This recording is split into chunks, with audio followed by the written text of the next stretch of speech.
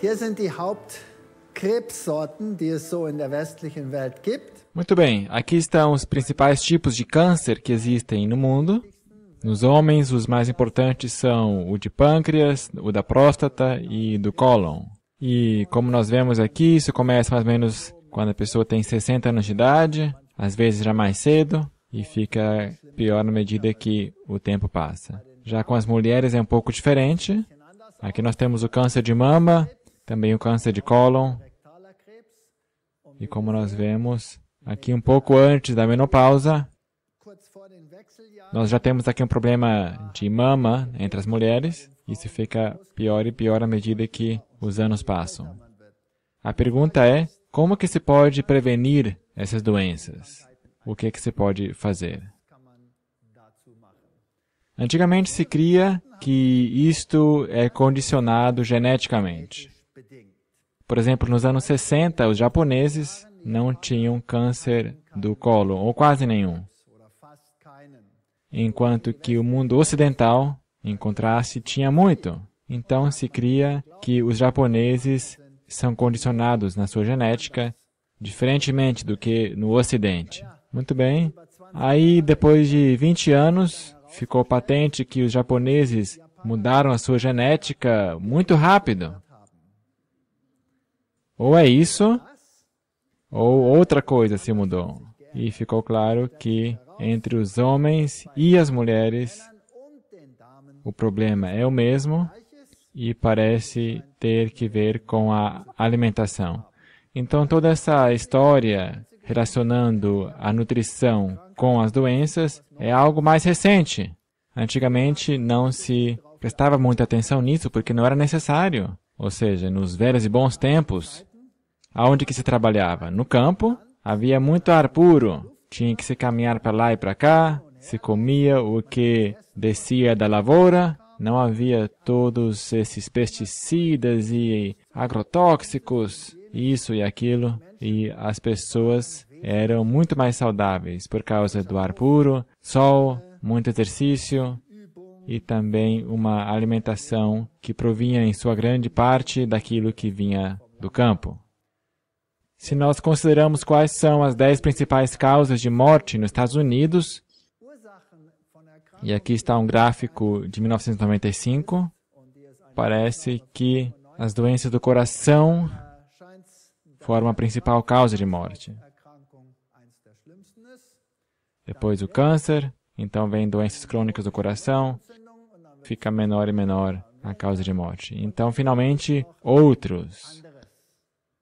Agora, hoje nós não temos tempo de enumerar todos esses outros, mas as três principais causas de morte são doenças do coração, câncer e outros. Agora, no interim, se descobriu o que que compõe esses outros. E em sua maior parte, medicamentos de prescrição. Medicamentos de prescrição. Então, em primeiro lugar, doença do coração, depois câncer, e aí, muitas vezes, o tratamento que é necessário para se recuperar. Enfim, isso é bem interessante. Quase um milhão de pessoas morriam por ano em 95 só em doenças de coração e de vasos. E aí temos também outros números. Isso, claro, depende de cada país onde você está. Na África do Sul, a AIDS claro, vai ter uma maior porcentagem do que aqui. E quais foram as principais causas para esses problemas? Em primeiro lugar, dieta. Dieta e falta de exercício. Nós hoje somos pessoas que vão para o trabalho e acabamos ficando sentados atrás de um computador. E depois nos admiramos que aparecem problemas. Se nós tomamos um desjejum bem energético, e depois se fica sentado ali, sem fazer nada, exceto ficar sentado, então toda essa energia entra no corpo e alguma coisa tem que acontecer com essa energia. Normalmente, nós iríamos gastar essa energia pelo trabalho e trabalho físico e caminhar para lá e para cá, mas agora se fica sentado em frente ao computador, então o nível de glucose no sangue sobe e ficamos com problemas com a insulina, se pega hipoglicemia com problema, então se tem que tomar alguma coisa para que o nível da glucose volte a crescer, e assim se fica num sistema onde temos altos e baixos, em vez da energia ser utilizada. O segundo problema é fumar. Esta foi a segunda principal causa de morte. Isso, na verdade, foi muito fácil para solucionar esse problema. Não fumar e também não conviver na mesma sala com pessoas que fumam. Álcool, número 3, e aí vinham, enfim, outras causas como drogas e acidentes e, e outros. Mas, em primeiro lugar, dieta pobre e falta de exercício. Então, nós também sabemos que o consumo de carne contribui para que se contraia câncer. Por exemplo, câncer do cólon, isso tem uma grande correlação com o consumo de carne. Nova Zelândia é o número um no mundo, junto com as pessoas brancas da África do Sul. São os que mais comem carne em todo o mundo. Eu acho que os da Nova Zelândia pensam que uma galinha é legume. Isso naturalmente tem os seus efeitos. E claro, você vai poder dizer, mas meu avô também comia muita carne. E ele alcançou a idade de não sei quanto. Então eu também posso fazer isso. Mas o avô também tinha um estilo de vida muito diferente do que o nosso. Ele fez muitas outras coisas. Ele não ficou sentado o dia inteiro diante de um computador, de manhã até a noite. E depois à noite ele não ficava sentado lá no sofá assistindo TV. Porque não havia TV. E não existia computadores, felizmente. Então, temos que fazer outra coisa. Quando nós consideramos os outros tipos de câncer, como câncer da linfa, é a mesma coisa, Nova Zelândia, Estados Unidos estão lá em cima e os outros estão bem atrás. Ou diabetes consumo de carne. Quando se come somente quatro vezes carne por dia, é a abscissa, o eixo horizontal, então já começa o problema. Quando se come seis ou sete vezes carne por semana, então vai lá em cima, até quatro vezes mais risco do que se não se fizesse isso. Então a ciência demonstrou claramente que o consumo de carne está relacionado diretamente com doenças secundárias. Então, se pode tomar medidas. Podemos reduzir o consumo de carne. Podemos encontrar um substituto que seja menos danino. Agora vem cá, vamos dar uma olhada nos problemas que o avô e a avó nunca tiveram. Por exemplo, a magnificação biológica de venenos em diferentes espécies e também na alimentação para o homem. Por exemplo, se nós tomamos o veneno DDT ou qualquer um, TDT, tributil estanho, por exemplo, então nós vemos que ao nós subirmos o nível da cadeia alimentar animal, então os venenos se concentram cada vez mais. Então a concentração aqui cresce em proporções como 10 mil vezes, 100 mil vezes, um milhão de vezes até na hora de grandeza dos bilhões. Então isso é um grande problema que tem que ver com a poluição do meio ambiente. E o avô e a avó não tinham esses problemas, porque tantos químicos naquela época nem existiam para poluir o meio ambiente. Então, por exemplo, quando você come muito peixe ou produtos animais em geral, então você vai ter essas substâncias automaticamente na sua alimentação. E mais um problema é a pecuária moderna.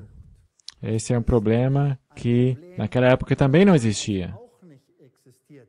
Na pecuária moderna, os animais são conservados em ambientes muito apertados, recebem uma ração bem específica. E se um país, por exemplo, na Europa, ou todo um continente como a Europa, diz: Ok, nós vamos fazer normas bem definidas. Aqui não podemos dar de comer na ração pó de osso, por exemplo. Bem, então, o que, que faz, por exemplo, o Reino Unido, a Grã-Bretanha? Ao eles terem sacrificado todos os seus animais por causa de doenças assim, agora não tem carne naquele país. O que, que então o país faz? Importa? Da onde? De outros países, onde essas mesmas regras não se aplicam. Então, se você for ver, na verdade, o problema é um problema mundial. Quer haja essas leis no país ou não. Então, a pecuária animal é bem diferente do que antigamente. Hoje, são acrescentados compostos sintéticos, enzimas que permitem que certos nutrientes sejam absorvidos que antes não eram digeríveis.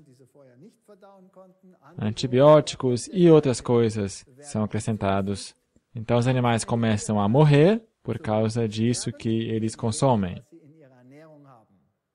Ou então dioxinas. Por exemplo, aqui foram acrescentadas as dioxinas à cadeia alimentar, e essas naturalmente são cancerígenas, e essas substâncias não estavam presentes lá antigamente. Aqui temos galinhas que têm que conviver num espaço muito apertado. São alimentados na granja para que a maior parte da energia possa ser transferida à produção. Bem, então quando você conserva os animais tão pertinhos um do outro, então uma doença também assola todo o grupo rapidinho. Sempre tem que se ser muito cuidadoso, dando antibióticos e outros produtos para que o problema não surja. Aqui está uma das minhas estudantes, onde nós fizemos experimentos com ovos e com galinhas para ver quais são os efeitos da avicultura moderna sobre os animais. Essa é uma galinha típica. Aqui nós temos as perninhas, estão bem tortas, e a razão é que elas recebem muita proteína em sua alimentação porque a proteína leva a um crescimento acelerado. E quando recebe muita proteína em sua alimentação, então isto é uma alimentação muito acidificante e esse ácido tem que ser neutralizado e o corpo só tem um mecanismo para fazer isso, a saber, através do ciclo hormonal. Então é liberado um certo hormônio e esse resolve o problema com liberação de cálcio do osso. Então, depois, essa é a aparência dos ossos. E essa também é uma das razões porque pessoas que consomem muita proteína, que têm alto índice de proteína alimentar, ou que consomem muita carne, ou muitos produtos lácteos, que são ricos em proteína, também têm tendência a contrair osteoporose, porque tem constante perda de cálcio do osso. Aqui nós vamos ver o que mais acontece com esses animais. Uma questão que nós investigamos foi a resistência a antibióticos e temos alguns problemas que surgem na pecuária e avicultura modernas. Um desses problemas é a resistência a antibióticos, porque se acrescenta constantemente antibióticos e por isso as bactérias ficam resistentes. E quando nós depois ingerimos essas bactérias e deveriam ter efeito patogênico, então os medicamentos não têm mais efeito. Esse é um problema. E outro problema são vírus. E contra esses, os antibióticos não têm efeito, já sabemos disso. Então temos esses dois problemas da modernidade, que alguns vírus estejam presentes nos organismos e que bactérias que serão resistentes a antibióticos estejam presentes. Agora, antigamente, há alguns anos, só se preocupava com as bactérias que são resistentes. Hoje em dia, o outro problema é pelo menos tão grande ou já maior, a saber, os vírus. Antigamente, não havia problema, porque um vírus num certo animal não conseguia transpor o abismo existente entre uma espécie e outra. E assim nós não poderíamos ser contaminados que estivessem presentes, digamos, em galinhas ou em alguma carne bovina havia uma fronteira ali entre as espécies. Mas isso mudou, como nós já vamos ver. Em primeiro lugar, as bactérias. Então, depois da avicultura moderna, depois que isso se tornou generalizado, houve surtos de salmonela, de repente, e pessoas ficavam doentes. Agora, por outro lado, os vírus. Bem, isso também é um fenômeno recente. Há alguns anos nós tivemos isso. Aí se contraiu doenças provenientes de vírus de aves e de porcos que levavam a encefalite. E naturalmente isso é uma doença bem grave e se pode sobreviver isso, claro. Se pode morrer disso ou se pode ficar deficiente mental depois de uma enfermidade assim. Não é uma coisa com a qual se brinque. Então, esses dois problemas, vírus e bactérias. Muito bem, então vamos lá. Resistência a antibióticos. Foi um grande problema. A revista Time mostrou todas essas galinhas aqui e intitulou a matéria Duro de engolir. Duro de engolir. Problema doping no estábulo e também na granja, porque se na cultura animal moderna se quer que o animal cresça rapidamente, então se utiliza esta simples fórmula aqui embaixo. ΔH é igual a ΔF mais T delta S. Agora, delta H é toda a energia que se dá ao animal para viver e para crescer. Delta F é o que finalmente é transformado em crescimento e T delta S é toda a energia perdida, ou seja, movimento, respiração, reprodução e termorregulação e mais e mais e mais. Portanto, na cultura moderna de animais, o esforço é reduzir esta parte aqui ao mínimo possível, ao mínimo possível. Se é necessário energia ao animal se locomover, então restringe isso para que o animal não se possa mexer mais. Por exemplo, assim, Prenda-os. Aí está ele, sentado. Não posso ir para a esquerda, não posso ir para a direita. No caso da vaca, por exemplo, também é fácil. Faça o espaço tão apertado para que a vaca não possa se deitar. Porque se a vaca se deita e depois se levanta, bem, isso é meia tonelada que tem que se erguer ali. E isso consome energia. É um desperdício de energia. Então, faça o espaço tão pequeno para que não possa se deitar. Porque a vaca tem que mexer o seu traseiro, girando para que possa se deitar. E se isso não é possível, então tem que ficar de pé. E certos truques desse jeito são, então, aplicados. Mantém a temperatura bem uniforme, o animal cresce melhor. Se dormir bastante e a luz for pouca, então cuide bem disso. E outras coisas desse jeito. Isto é cultura moderna de animais. Mantenha essa última parte da fórmula tão pequena quanto possível. Delta H, o mais barato possível. Lógico. Então, se você usar uma boa ração, isso tem o seu preço. Se você pode usar produtos secundários ou até produtos reciclados do lixo, então é melhor. Você consegue por um preço mais acessível. Se você pode usar, digamos, pó de osso de animais doentes, então fica ainda mais barato. Ou pó de peixes, ou seja lá o que for, tudo que é barato ou mesmo esterco de galinhas como nutrição, porque ele é rico em nitrogênio e as bactérias das vacas, por exemplo, na primeira parte do seu estômago, podem transformar isso em proteína, mas claro, todos os outros venenos também são acrescentados, mas enquanto o delta F for alto, então tudo bem, e o delta H pequeno. Então, porcos, galinhas, bezerros e assim por diante, pouco movimento. Se você não tem condições de ter as grades no estábulo, então o jeito é colocar todos juntos, bem apertados. Junta todos em um bolo para que não se possam mexer. Isso também ajuda na questão da temperatura e assim por diante. Então também as doenças são passadas rapidamente de um animal para outro nesse grupo. No final dos anos 90, a condição dos vírus, então, chegou a um ponto tal que contaminava os seres humanos, mas primeiro afetava o porco. Antes do ano 2000,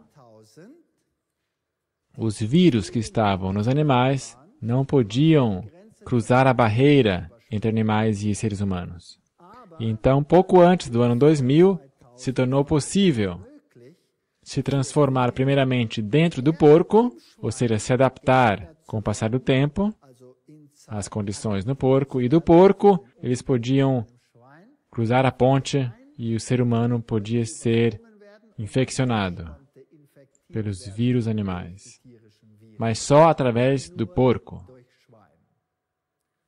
Depois de 2004, somente quatro anos depois, essa ponte se tornou muito mais larga e agora o negócio fica interessante.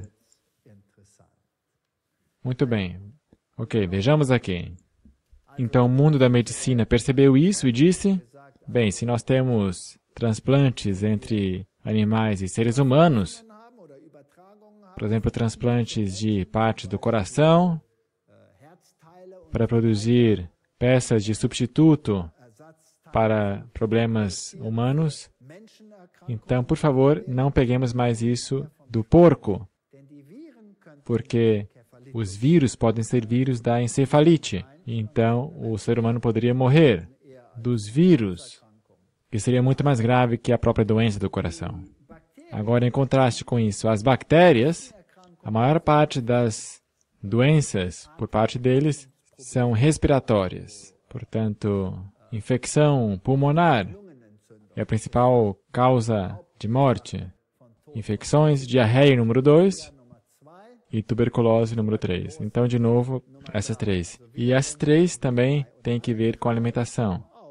Então, já nos anos 80, se percebeu, o problema é antibióticos com as bactérias. Se realizaram testes e se percebeu, sim, quando se compra algum pedaço de bife em algum lugar, em algum supermercado, então já se tem uma grande chance, 86%, que esse antibiótico esteja presente ali.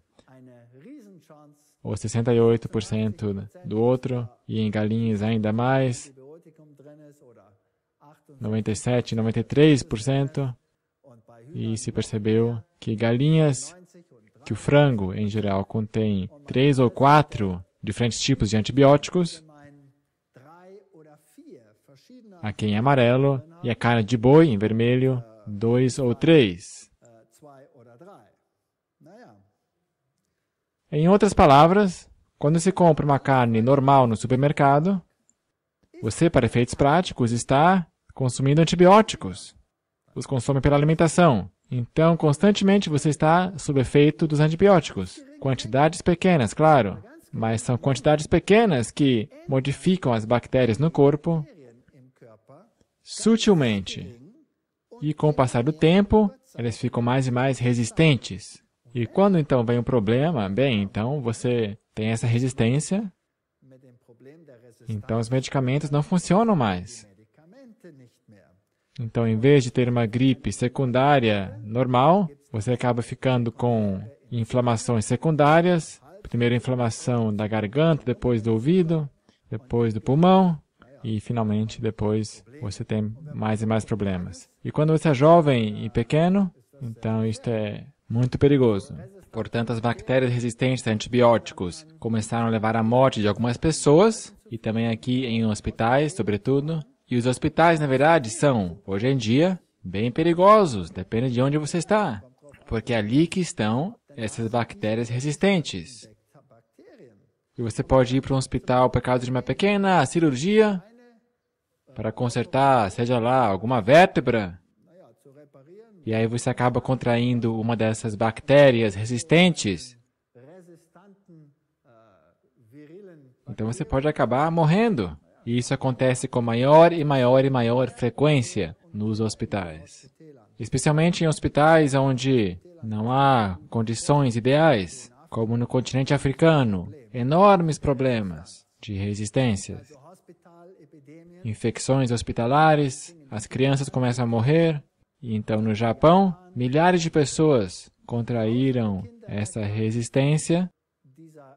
O Spiegel, a maior revista na Alemanha, colocou na sua capa ovos mortais num pequeno caixão ali, em todo o mundo, seja na África, na Europa, na América ou na Ásia, o problema cresceu e cresceu. E na maioria das vezes, o problema é leite e aves, a raiz do problema. Ovos ou carne de boi, às vezes também outros fatores. Nós mesmos também, então, pesquisamos sobre isso para ver de onde que, na verdade, vem o problema. Porque havia duas explicações. Uma dizia, o mundo da medicina é o culpado, porque ele prescreve tantos antibióticos. E a medicina disse, não, não é nossa culpa, porque nós só prescrevemos antibióticos quando as pessoas já estão doentes. Por isso o problema tem que vir de outro lugar, a saber, da fazenda. Então nós conduzimos uma pesquisa onde nós analisamos essa questão usando um princípio bem simples, dizendo, bem, nós vamos a um matadouro, os animais vêm da fazenda ao matadouro, então quando eles saem do caminhão, indo para o matadouro, nós pegamos uma amostra e analisamos no laboratório quão resistentes são essas bactérias. Então nós vamos traçar o caminho da carne pelo matadouro até que finalmente chegue na grande indústria alimentar, depois ao nível menor, até que finalmente chegue ao supermercado, onde a carne é comprada. Então a carne ela é processada, o açougueiro trabalha com ela, a pessoa responsável pelo empacotamento pega na carne, o transporte leva ela. Então há um constante intercâmbio de bactérias ali. Portanto, se a resistência vem da fazenda, então deveria ser alta ao medir quando os animais saem do caminhão indo para o matadouro. E deveria diminuir à medida que os homens trabalham com ela. Se o problema vem da parte dos seres humanos, então a resistência deveria ser pequena quando vem da fazenda e crescente à medida que os seres humanos transmitem suas bactérias. Faz sentido, não é? Então nós fizemos isso e, bom, 90.5 quando sai da fazenda, de vermelho, e menos no supermercado, de verde.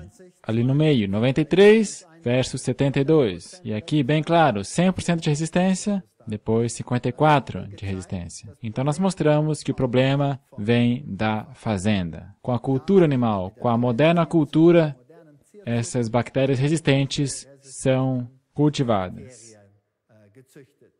Então, os antibióticos não são tanto um problema da parte do ser humano, mas na cultura animal. Isso, é claro, nos influencia. Então, os antibióticos deveriam ser usados quando realmente for preciso, e além disso, em nenhum momento. Mas por que, que usam tanto na pecuária, na avicultura? Porque descobriram que quando dão antibióticos, o animal precisa de menos energia para o seu sistema imunológico, suas próprias necessidades, então cresce mais rápido. É um produto de crescimento, por assim dizer. Então vale a pena dar isso para eles. E nós hoje então acabamos tendo esses problemas.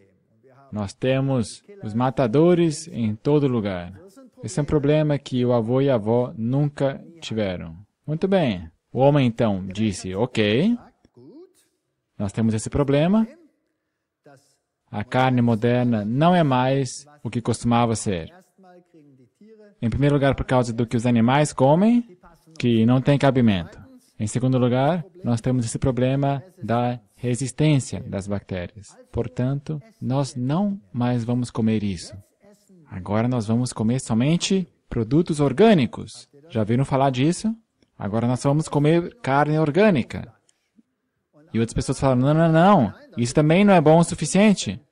Porque esses animais são descendentes de animais, são descendentes de animais que foram afetados pelo cultivo antigo. Não, não, não. Nós agora só comemos carne exótica. Por exemplo, carne de crocodilos, carne de animais selvagens, e avestruz, e etc, e etc. É isso que agora vamos comer. Então o problema se resolve. Muito bem, então vieram alguns outros problemas. Ebola. Ups! O vírus do ebola. Então temos que ver com o vírus agora. Esse vírus é um pouco menos amistoso se alguém o contrai. As chances de você bater as botas são muito boas. Boas chances. Então, na África, nesse momento, na África Central, o ebola, nesse momento, é um problema mas ainda não na Europa e ainda não nos países de primeiro mundo.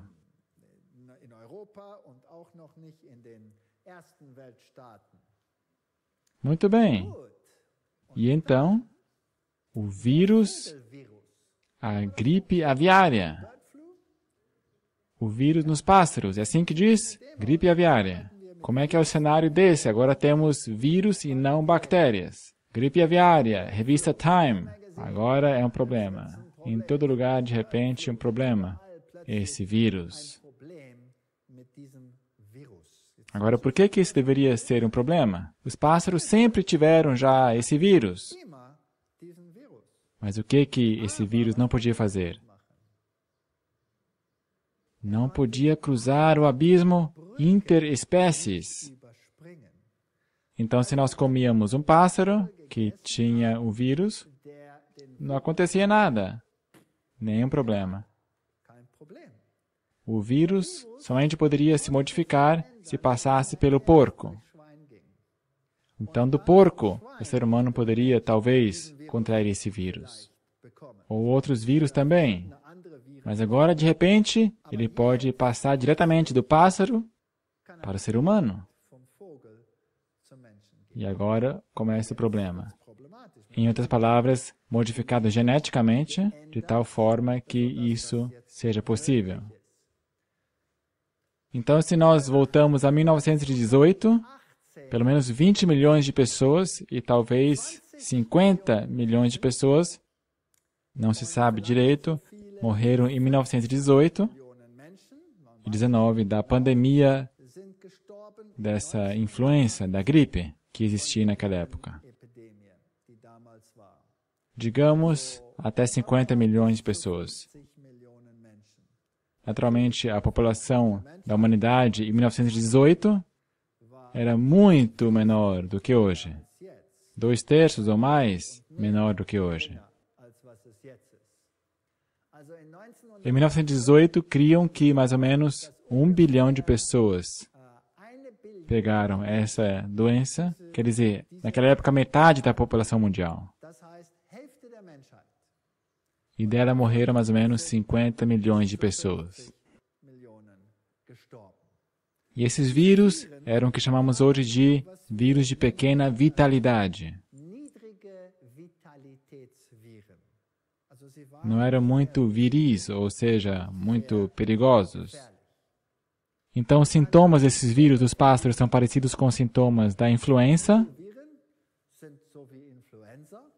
dor de garganta, dor de músculos, o tecido conjuntivo, inflamação dos pulmões ou complicações por infecção pulmonar. Na maior parte das vezes se morre de inflamação viral dos pulmões, quando o caso fica muito grave nessas doenças.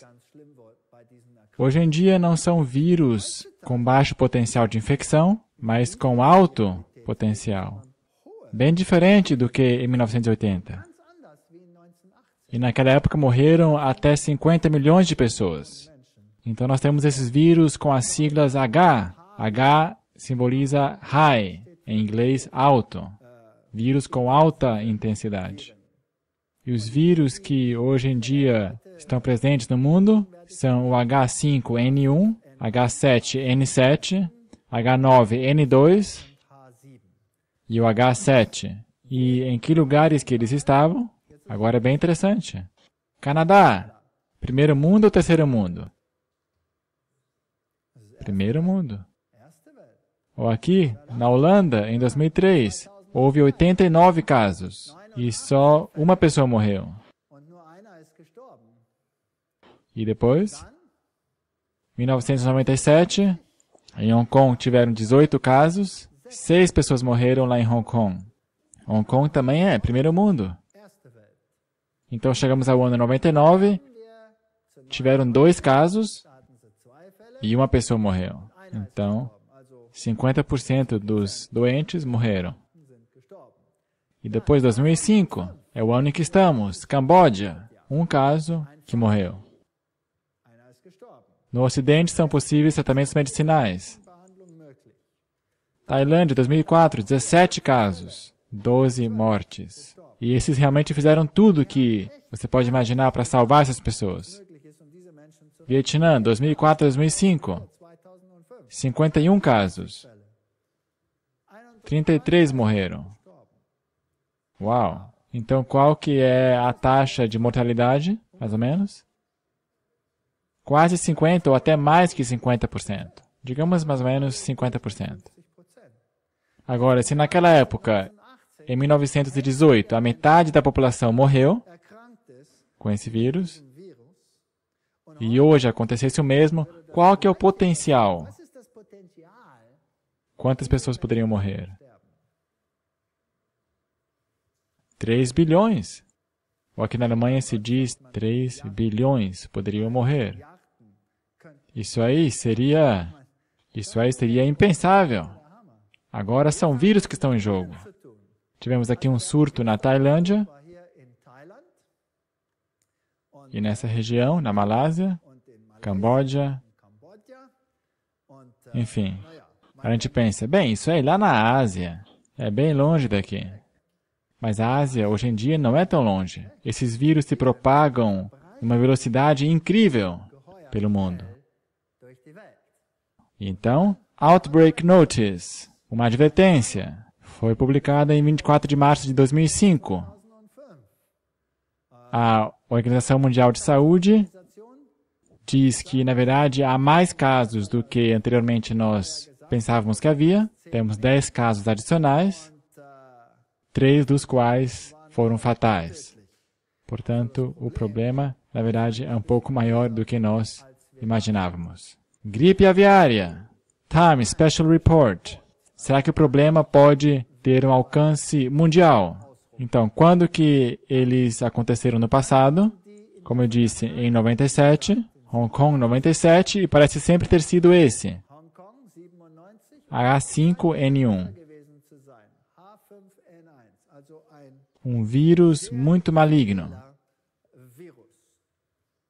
Temos aqui a influenza e algumas pessoas também morreram disso. Então, em 2004, de repente, o mesmo vírus na África do Sul. Hum, isto é bem longe da Ásia. E o que, aconteceu aqui? O problema estava com as avestruzes. Avestruzes no Cabo Oriental, ali descobriram o vírus, então eles tiveram que destruir todas as avestruzes.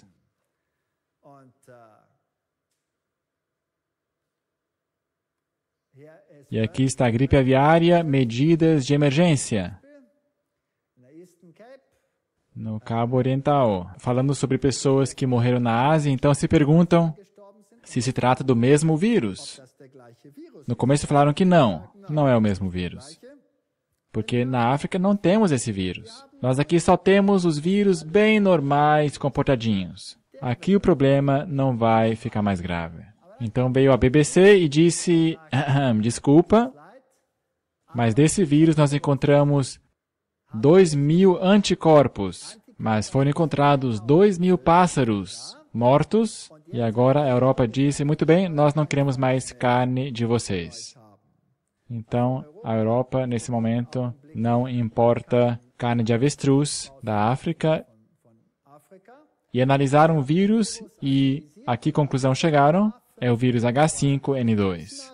Então, muito parecido com aquele vírus que causou problema na Ásia. Então, setembro de 2004, as análises, aqui estão os diferentes vírus que foram encontrados. No Zimbábue se encontrou esse vírus pela primeira vez em 1995 e agora também na África do Sul. As fazendas. O que acontece com os pássaros? Eles ficam com urina esverdeada, conjuntivite. Então está claro que esse subtipo também está agora na África. Nós o temos no Canadá, ele está na Holanda, na Ásia, é o mesmo vírus. Na Ásia e agora na África. Então, qual que é o alcance dele? Mundial. Muito bem. O que diz o mundo hoje com respeito a esses problemas? Em 26 de novembro de 2004, a Organização Mundial de Saúde diz que nós esperamos uma pandemia. Nós esperamos uma pandemia. E eles também esperam, o que, que diz aí? Que isso aconteça em cada país do mundo. Cada país do mundo. com milhões de mortos. Eles esperam. E eles pensam que até um quarto da população mundial, e se for o mesmo caso, como em 1918, até a metade da população mundial vai desaparecer. Diz a Organização Mundial de Saúde que a próxima pandemia de gripe, a raiz dela vai vir da onde? Vai vir da onde? Das aves. Então, o que é, que é o melhor que se pode fazer? Deixe o frango de fora. Deixa ele quieto. Naquela época se podia dizer são só bactérias. O que, que pode fazer quando existem bactérias de salmonela no frango? É só cozinhar ele. Então o problema está resolvido. Mas vírus podem ser transferidos de outras formas. Pelo contato. Ao comprar, então, depois é só abrir o pacote, pegar na mão, colocando na panela e pronto. O problema já está aí. Não é tão fácil lavar esses vírus na mão debaixo da torneira, como é o caso com bactérias, talvez. Portanto, são problemas totalmente diferentes hoje em dia. Mas vai ficar pior. Dr. Klaus Storr, que é o coordenador da, do programa de influência da Organização Mundial de Saúde, ele diz que pelo menos um quarto da população mundial vai contrair esse problema e ele identifica o vírus que ele acredita que é a raiz do problema. Ele diz que o H5N1 asiático, esse grupo de vírus, é certamente o que vai causar a próxima pandemia. Portanto, esses vírus estão na Ásia, estão na América do Norte, na Europa, estavam na Holanda e agora estão na África, em todo lugar.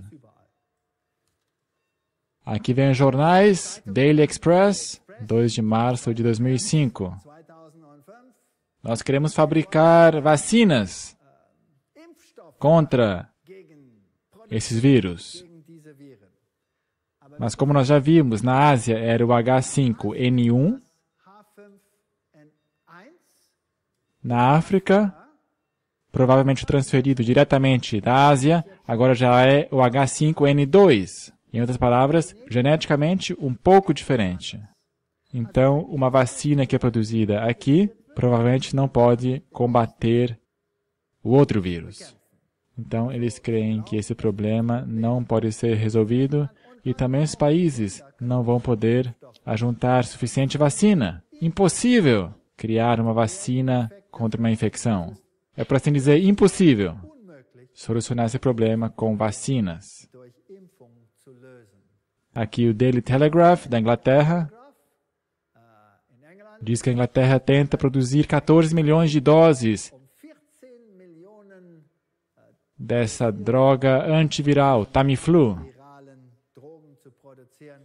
Mas provavelmente não vai ajudar muito.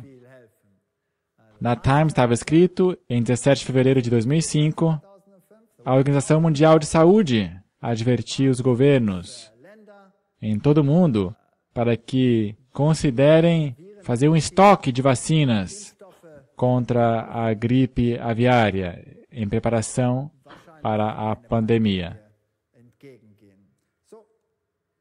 Nós temos um problema, então, portanto, de vírus e de bactérias hoje em dia. Nós já vamos ver como o problema desse vírus vai continuar se agravando no mundo. Vamos ver outras possibilidades para permanecer no tema do consumo da carne. O, como se poderia utilizar outra coisa. Portanto, nós já vimos que o frango é suficientemente problemático, não é verdade? A carne de boi, já vimos, causa diversos tipos de cânceres, talvez resistência a antibióticos. Porco, aí temos um grande problema, porque os vírus usam o trampolim do porco para poder se transferir ao ser humano. Então, por favor, elimine a carne de porco em primeiro lugar, a carne de frango, desde essas novas revelações, também a elimine. Felizmente, permanece o peixe. Não é verdade? Muito bem. Vamos ver o peixe hoje em dia. Ômega 3, gorduras. Essa é a razão porque nós precisamos do peixe, porque ele é absolutamente necessário em nossa dieta. Já ouviram essa? Sim.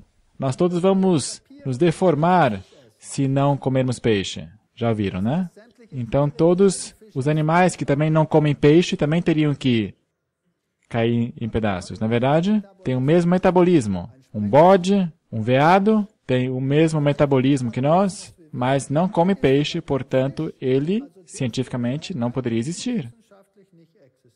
Sem falar de elefantes e outros animais. Não poderiam existir.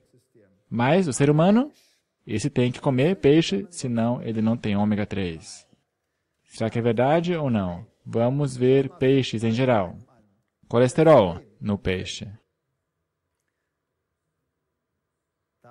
Nós temos aqui a bisteca ou chuleta, arenque, salmão, sardinha e fígado de bacalhau. Nós vemos que peixe não tem menos colesterol, não tem menos, até chega a ter mais em algumas espécies. O que dizer sobre a necessidade de nós termos ômega 3? Certamente tem muita relação com a composição do sangue, pressão sanguínea. Também ajuda a diminuir os triglicerídeos, a diminuí-los. Pode-se diminuir os efeitos de um ataque cardíaco, se acontecer. E também ajudam para que os vasos sanguíneos não se bloqueiem tanto. E ajuda na recuperação depois de uma cirurgia de ponte de safena. Portanto, o que, que pode ser melhorado?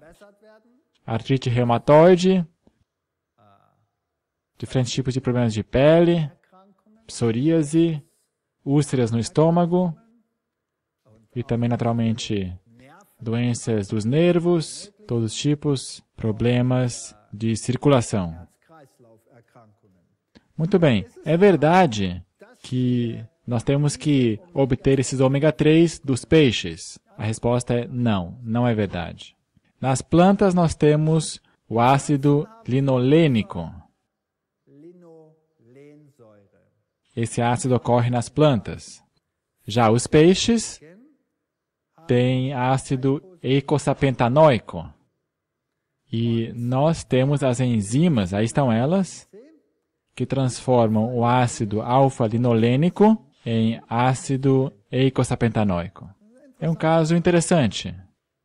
Agora, se nós deveríamos exercer fé, então se poderia concluir que, que Deus não foi lógico, porque não colocou ácido eicosapentanoico nas plantas, mas só ácido linoleico e ácido alfa-linolênico. E por que não eicosapentanoico, se nós precisamos? Sim, mas nós podemos produzi-lo se nós consumimos as plantas, que contêm ácido linoleico. Enquanto que, se eu consumo ácido eicosapentanoico diretamente, então eu já o tenho. Eu não tenho que produzi-lo, mas se eu consumo demais dele, então eu tenho um problema, porque o ácido eicosapentanoico tem que ver com a viscosidade do sangue. Quão viscoso ele é. E se eu tenho demais desse ácido, o sangue fica muito fino, com uma viscosidade muito baixa. Então eu acabo tendo uma chance muito mais alta de ter um derrame cerebral, por exemplo, sangramentos cerebrais ou hemorragias em geral. Então, pessoas que têm consumo muito alto de peixe, por exemplo, os, os esquimós, a maioria das pessoas morrem de derrame cerebral. A maioria. Eu acabo de vir do Alasca e eu conversei com os médicos lá. E eles confirmaram isso, que esse é o maior problema com os esquimós. Então você não vai querer ter muito desse ácido eicosapentanoico. Melhor ácido linoleico. Então você pode produzir tanto quanto você quiser e for preciso. Então o que é melhor, da planta ou do peixe? Da planta. Da planta. Os elefantes não têm derrame cerebral. Então, as plantas que têm ácido alfa-linolênico, quais são? Temos aqui em legumes, em frutas. Quanto mais gorduroso, mais tem. Por exemplo, abacate. Isso não são grandes diferenças.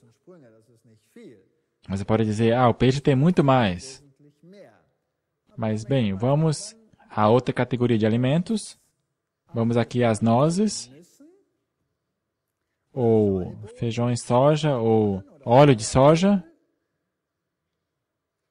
Nós temos também brotos de grãos, germe de trigo, noz de nogueira, noz walnut, óleo canola, outro tipo de noz, e linhaça. Uau! 7.526 miligramas. Esse é o campeão. Esse é o maior índice. Então, tem um benefício de quebra. Se nós olhamos para soja e linhaça, esses dois juntos, então temos alguns outros benefícios. Temos fitoquímicos, como um fitoestrogênio que se chama genisteína. E a linhaça tem maior índice de genisteína junto com o feijão soja. Então, se nós quisermos ter uma boa circulação e um bom sangue, então precisamos tomar leite soja e linhaça. Portanto, um desjejum, digamos, de granola ou Bircher Müsli ou outra coisa, é só colocar leite soja com uma colher de chá de linhaça triturada ou farinha de linhaça e prontinho. E mulheres, vocês também não vão ter problemas na menopausa se fizerem isso. Dois copos de leite soja, uma colherzinha de chá de linhaça, e se tiver bastante problema, coloque mais. Então o problema também está solucionado. Então aí estão algumas dicas. Então temos outros problemas com o peixe, a saber, pesticidas hoje em dia estão bastante concentrados com DDT e DTD. Então, câncer aumenta cada vez mais sua frequência nos peixes. E peixe agora tem muito mais câncer do que antigamente. E PCBs em geral estão contidos no peixe. E isso pode afetar nossa fertilidade. E também mães grávidas podem ter problemas com isso. Portanto, peixe hoje em dia já não é mais o que era. Então, crianças de 11 anos de idade ou mais, quando são expostos a PCBs, podem demonstrar problemas intelectuais. E até aqui em cima, na região onde era de se esperar que não houvesse muita poluição do meio ambiente. Ali, os peixes têm a mesma contaminação como em outros lugares. E os esquimós têm altos índices de pesticidas no seu sangue, PCBs e também os outros problemas que têm que ver com os peixes. Portanto, peixes também são um problema. Aqui temos um tumor num peixe, não é muito agradável esta imagem. E também o peixe, no que tem que ver com o seu sistema imunológico, tem efeitos negativos sobre o teu corpo. As bactérias e os parasitas aumentam mais e mais. Então nós acabamos ingerindo mais coisas do que acreditamos estar ingerindo. Aqui a charge diz: Desculpa, eu sempre estou preocupado quando os peixes já saem assados da água. Diz aqui um para o outro. Muito bem, nós vimos aqui que o peixe já não é mais o que era. Também é um problema, então temos um mito das gorduras ômega, que supostamente só podemos obter dos peixes, também não é verdade.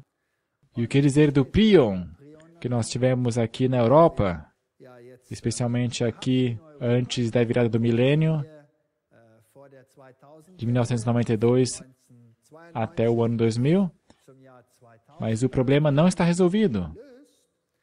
Nós sabemos hoje em dia que o problema vem da, do pó de osso, da ração que usam para os animais. Então, por isso que a Europa disse: suma com ele. Na verdade, na Europa já não é mais permitido usar pó de osso para ração. Quando que foi o último surto da gripe bovina aqui na Alemanha?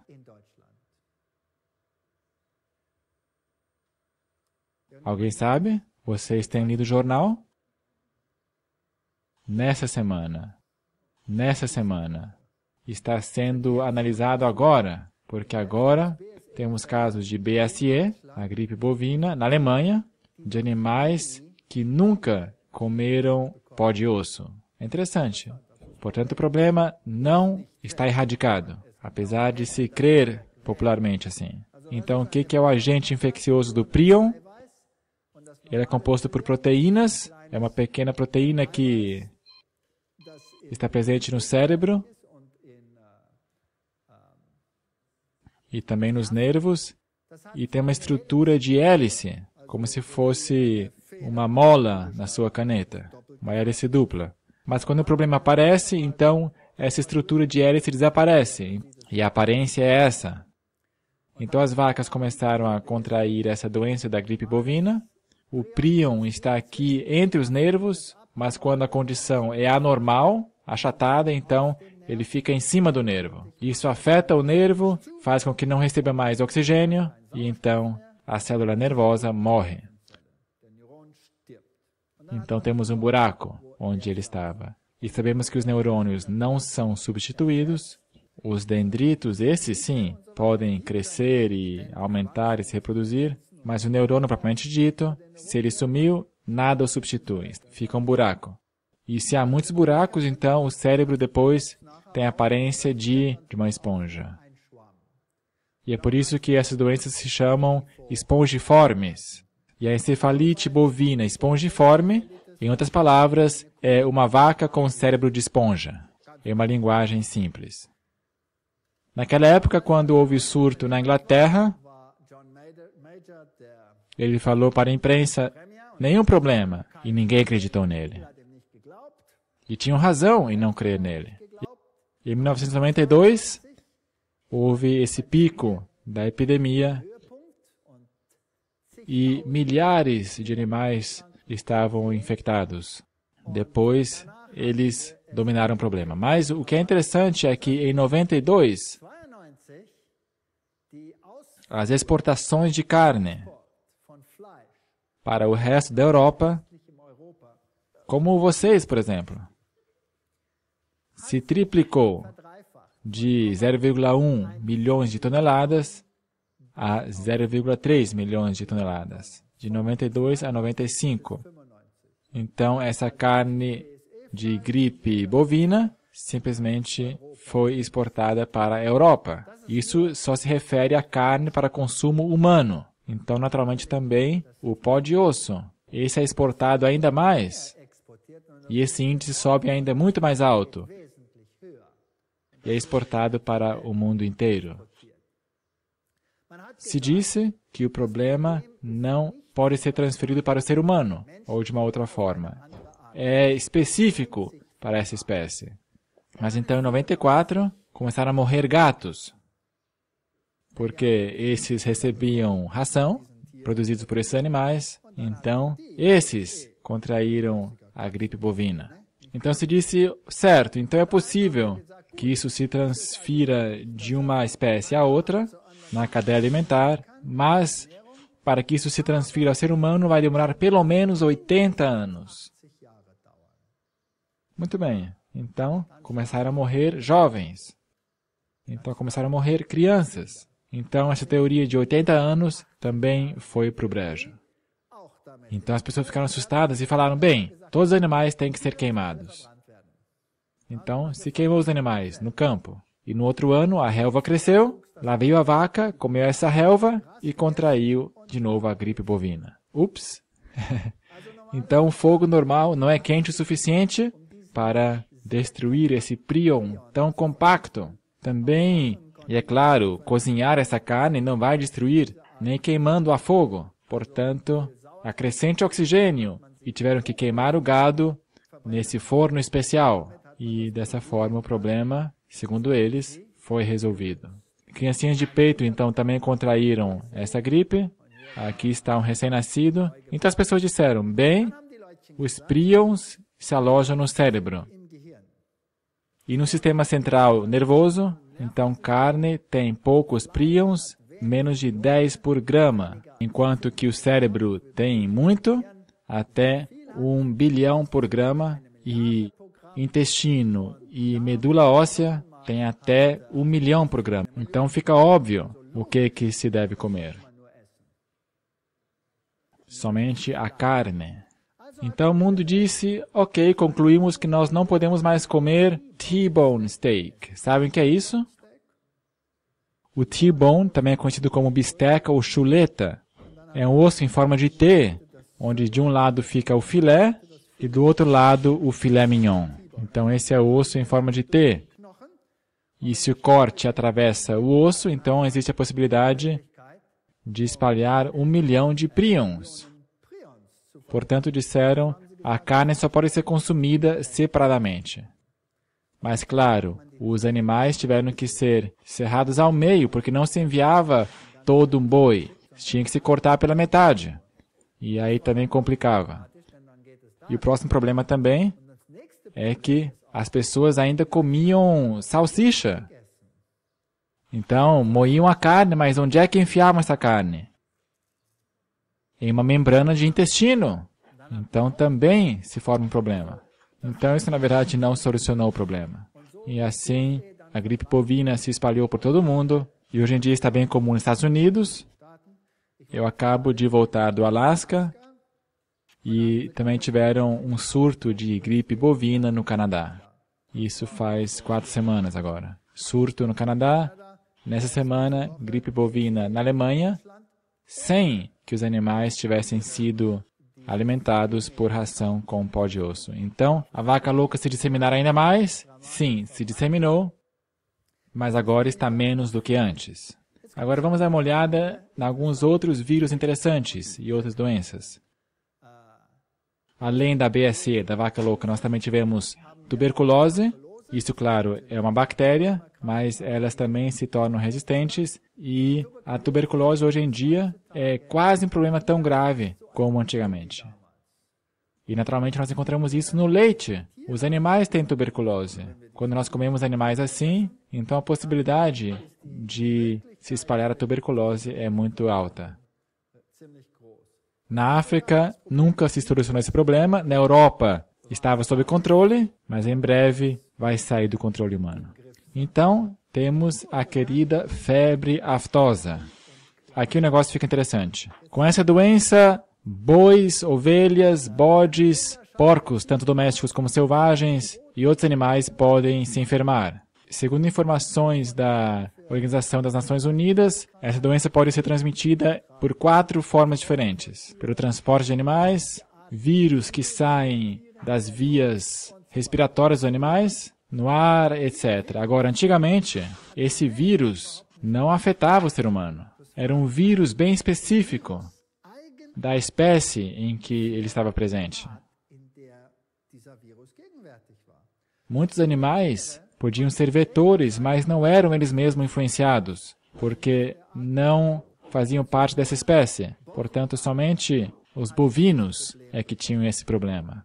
Naturalmente, os vírus podem contornar esse problema com o porco. Portanto, o próximo animal que contraiu essa doença foi o porco. Portanto, bois e porcos tiveram esse problema. Mas o ser humano, não. Agora, na Inglaterra, naturalmente tiveram o grande surto. E o que, que a Inglaterra fez? Sob força, naturalmente, da União Europeia, todos os animais foram destruídos. Será que pessoas morreram diretamente desse vírus? Sim ou não? Nesse último surto? Sim. Sim. Então, de novo, o pulo do boi direto para o ser humano, a primeira vez foi visível aqui. A doença não foi tão grave no ser humano. Os efeitos foram uma gripe, é, bolhas nos lábios, bolhas na língua e talvez inchaço na boca. mas nada grave, com risco de vida. Mas esse é o primeiro passo. O que se o vírus se mudasse do tipo A para o tipo H? Então temos a mesma coisa que com os pássaros. Muito bem. Então a Inglaterra disse: nós vamos destruir tudo. E mataram tudo. Tudo que tinha febre aftosa foi destruído. Matadouro, aqui está, tudo isso aí sendo queimado. Muito bem. Agora a Inglaterra ficou sem carne. Como é que eles contornaram o problema? As pessoas ficaram todos vegetarianos, certo? Não. Eles continuaram comendo o mesmo tanto de carne. Então de onde que veio a carne agora? Importaram. Da onde? Da América, e da África, e da Austrália, e todos esses países. Muito bem. Esses países também tiveram febre aftosa. Como é que eles contornaram o problema? Eles disseram: os ingleses ficaram bobos. São idiotas. Todo esse dinheiro aqui simplesmente queimado. Isso não faz sentido. Os outros países fizeram fazendas de quarentena. Milhares de animais em quarentena. Ali, separados. Então, vacinaram os animais. Todos os animais nos outros países foram vacinados. Então não existia mais febre aftosa, problema resolvido. Os ingleses não usaram a cabeça. Certo ou errado? Muito bem, pergunto. A vacina, será que ela mata o vírus? Sim ou não? Não. Ela traz imunidade contra o vírus. Isso quer dizer que todos os animais que são vacinados são potencialmente o quê? Vetores. Vetores. Muito bem. Agora, antigamente, os vetores eram animais selvagens, que na maior parte não eram comidos pelos seres humanos, ou pouco comidos. E além disso, o vírus não era transmitido diretamente ao ser humano. Não diretamente. Agora, o vírus já vai direto para o ser humano. Mas cada animal agora é um vetor. Agora se importa de todo mundo. E esse intercâmbio acontece, e assim por diante. E agora nós temos um enorme problema de vírus. Portanto, não somente a gripe aviária, mas também, nesse caso, novos vírus são cultivados que realmente são problemáticos. Qual que é a melhor forma de evitar o problema?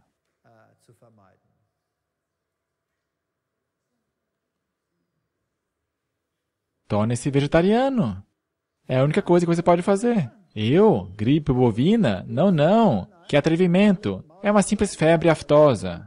Mas essa pode se tornar tão problemática como a outra. Então, esse hambúrguer aqui também pode ser comido, mas o que que deveria estar nele?